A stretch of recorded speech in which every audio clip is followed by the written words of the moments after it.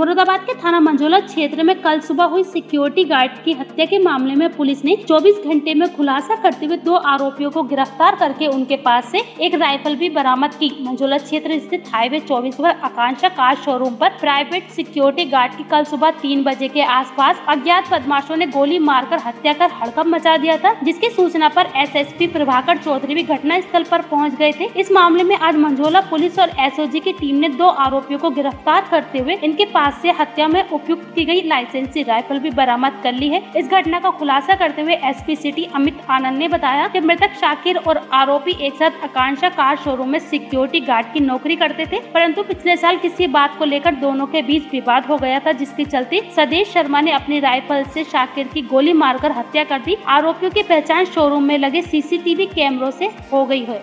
इसमें कल रात को पुलिस को सूचना आई थी, थाना मझौला क्षेत्र में मारुति का शोरूम है, आकांक्षा शोरूम के नाम से। वहाँ पे जो एक गार्ड कार्यरत था, उसकी गोली मारकर हत्या कर दी गई है। इसमें पुलिस ने बहुत ही सराहनीय कार्य करते हुए 24 घंटे के अंदर लगभग इसका अनावरण किया है। इसमें दो व्यक्ति, सुरेश शर्मा निवासी बिरमपुर थाना बिलारी और दूसरे उसका साथी ऋषिपाल पुत्र केहर सिंह ये भी थाना बिलारी का है। इन दोनों की गिरफ्तारी की गई है।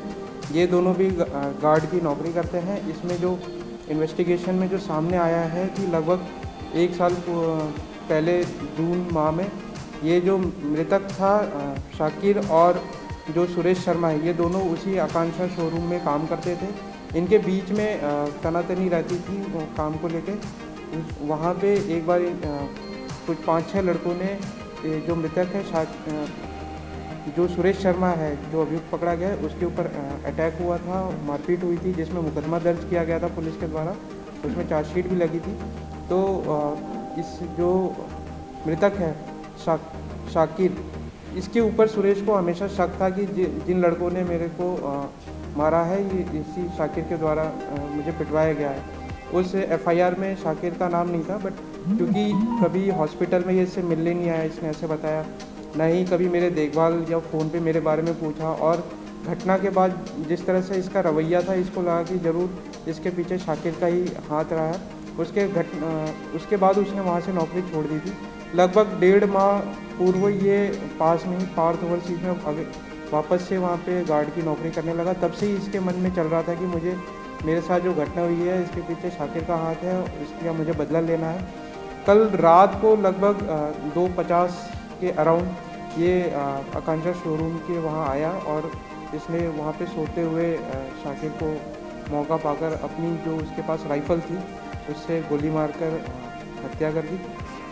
इसमें वहाँ के आसपास के जो शोरूम के सीसीटीवी फुटेजेस थे और अगल बगल के सीसीटीवी फुटेजेस इसमें इसकी आइडेंटिफिकेशन हुई इससे बड़ी पुलिस को सहायता मिली और इस केस को सफल अनावरण करने में इस पर मदद दी गई। इसके अलावा भी देखा गया कि इससे लगभग एक घंटे पूर्व भी वो वहाँ पे आया था और वो देख के, उस समय कोई और व्यक्ति था इसके साथ उसमें उसने इधर देख के गया था। फिर वो वहाँ से अपने जो पार्थ ओवरसीज है, वहाँ चला गया था और फिर ये वापस अपने एक साथी ऋषिपाल को लेके आया। पैदल वो दिख रहा है वहाँ पे जाते हुए सीसीटीवी में। ये सब इसके द्वारा बताया बताया भी गया है और इसके पास से एक लाइसेंसी राइफल 315 बोर तीन ज़िंदा कारतूस 315 बोर और एक खोखा कारतूस 315 बोर बरामद की गई।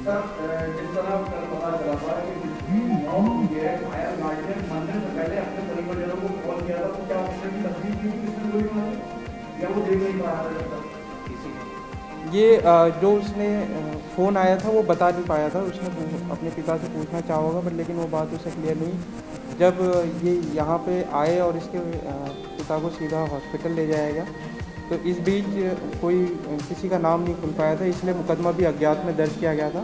इन्वेस्टिगेशन के दौरान और सीसीटीवी फुटेजेस की मदद से ये लोगों के नाम खुले हैं और इनसे पूछताछ में पूरा घटनाक्रम का अनावरण हुआ है।